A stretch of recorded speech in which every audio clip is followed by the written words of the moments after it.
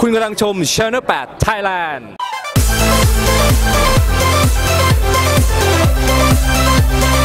ชั้น8 Thailand News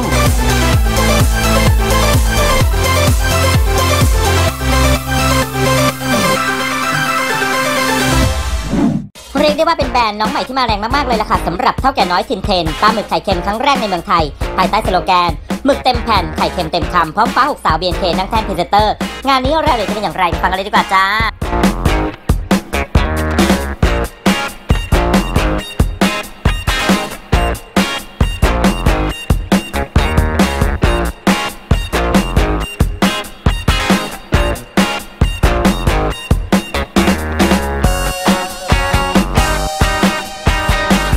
วันนี้เท่าแก่น้อยมาเปิดงานผลิตภัณฑ์ใหม่นะครับ ชื่อว่าทินเทน เป็นผลิตภัณฑ์ปลาหมึกทับไข่เค็ม ซึ่งเราเพิ่งออก product นี้ได้มาประมาณ 3 เดือนละครับแล้วเราก็ใช้ BNK น้อง BNK48 มาเป็นพรีเซนเตอร์เห็นครับว่ากระแสตอบรับที่ออกมาสามเดือนค่อนข้างที่จะดีครับค่อนข้างก็ดีก็ตอนนี้ไลน์ผลิตก็ผลิตไม่ค่อยทันนะครับเราก็มองว่าเดี๋ยวปีนี้เราจะ penetrate ตลาดในประเทศโฟกัสมากหน่อยนะครับเพราะว่าอะไรถึงในโฟกัสในประเทศมากเพราะปกติเห็นจะเป็นพวกจีนพวกพวกอ๋อเกาหลีพวกอะไรนะคะเอาหมายถึงว่าเพราะอะไรถึงใช้ BNK คน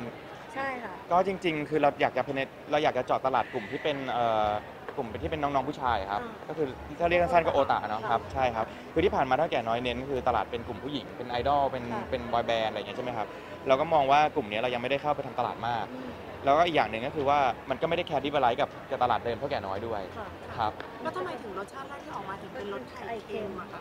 รสไข่เค็มจริง ๆ มันเป็นเทรนด์อยู่ตอนนี้มันเป็นเทรนด์ของ Southeast อยู่นะครับคือไข่เค็มเนี่ยมันดังมาที่สิงคโปร์มาสองปีละค่ะเถ้าแก่น้อยก็มองว่าจริงๆเถ้าแก่น้อยขายที่สิงคโปร์เยอะอยู่อืมเราก็มีการ develop กับ distribution distributor เราที่ที่สิงคโปร์ค่ะตัวไข่เค็มอืมเราก็มองว่าเอ้ย feedback มันดีเราก็เลยเอามาขยายในตลาดในเมืองไทยด้วย แล้วครับ แล้วพอตลาดเมืองไทยก็ผลตอบรับค่อนข้าง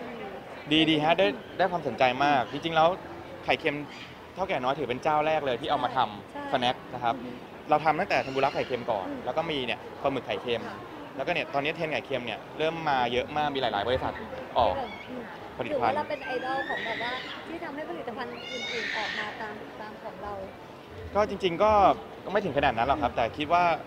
เราก็ดีใจที่เราเออเป็นเป็นคนที่เริ่มทำอืม คนแรกๆครับอืมแล้วแบบนี้เราจะมีการเรียกว่าเพิ่มเติมรสชาติเพราะตอนนี้ก็คือเหมือนเขาเรียกว่าไงก็ครับ เหมือนมีคู่แข่งเกี่ยวกับไข่เค็มออกมาเยอะมาก เราจะมีรสชาติอื่นออกมาเปลี่ยนคะอืมจริง ๆ แล้วไข่เค็มมันเป็นเหมือนแพลตฟอร์ม ค่ะ เราสามารถที่ไปเอาไปจิ้มกับอะไรก็ได้ อย่างจิ้มกับสาหร่ายจิ้มกับปลาหมึก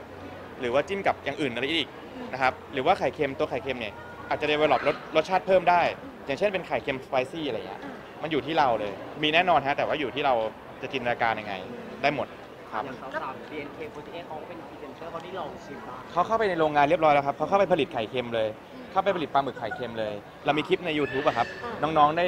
คือได้ลองไปบุกโรงงานไปผลิตไปคลุกคลุกเองเลยครับสาวว่าไงบ้างครับโอ้ชอบมันมากครับ อร่อยกันมากครับ ซื้อกลับไป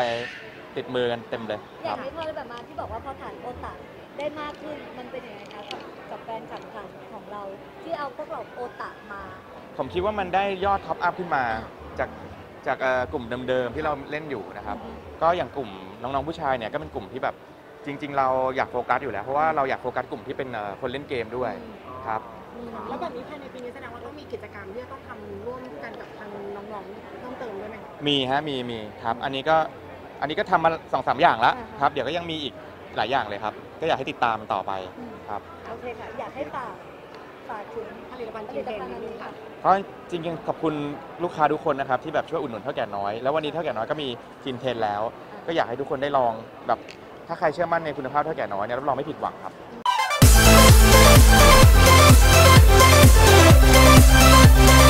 ชั้นแปดไทยแลนด์นิว